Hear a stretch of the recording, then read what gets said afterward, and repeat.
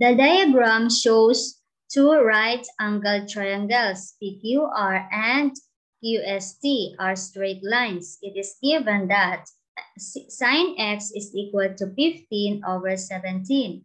Find the value of cosine y. So eh, sine x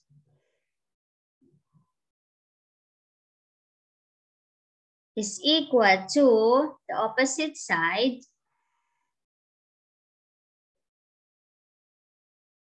divided by the hypotenuse side.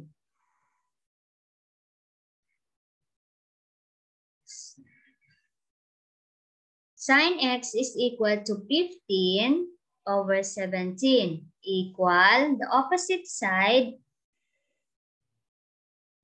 is line QT divided by the hypotenuse side P, line PT. 15 over 17 is equal to line QT, don't have a measurement. And then PT has a measurement of 34 centimeters. Then QT is equal to 15 divided by 17 times 34. 34 times 15 is equal to 510.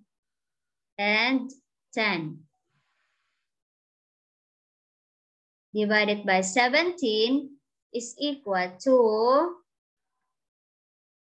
30. So our QT is 30 centimeters from here down to the T. And next, to find the value of QS, you need to subtract. So QS,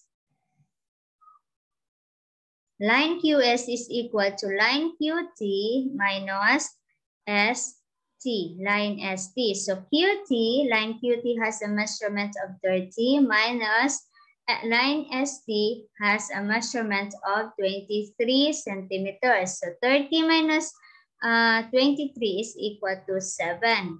So QS has a measurement of 7 centimeters.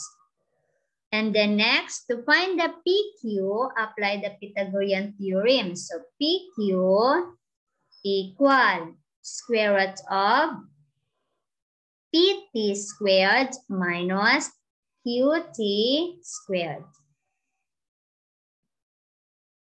Pt squared is equal to 34. So 34 squared minus qt has a measurement of 30. So 30 squared. 34 times 34 is equal to 1,156 minus QT is equal to 30 squared or 30, 30 times 30 is equal to 900. Subtract the 2, it will become 256. Get the square root of 256 is equal to 16. So keep line PQ has a measurement of 16 uh, centimeters. Now get the uh, measurements of QR. Apply the Pythagorean theorem. So QR is equal to square root of RS squared minus QS. QS squared. RS squared is equal to 25. So 25 squared minus QS has 7 centimeters, so 7 squared.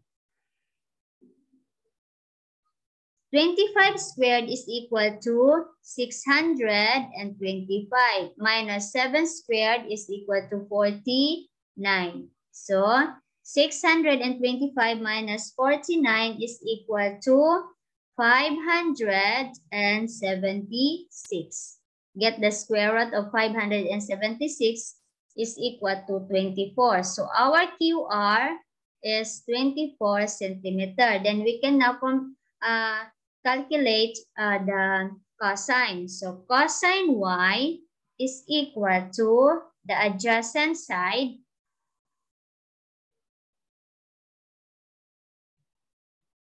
divided by the hypotenuse side. Cosine is equal to adjacent side is line QR.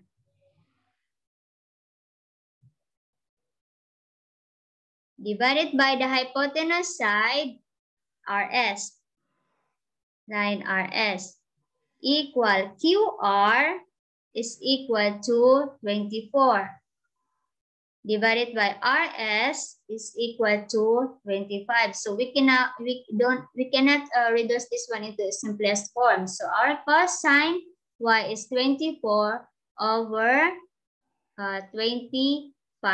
Thank you for watching. God bless.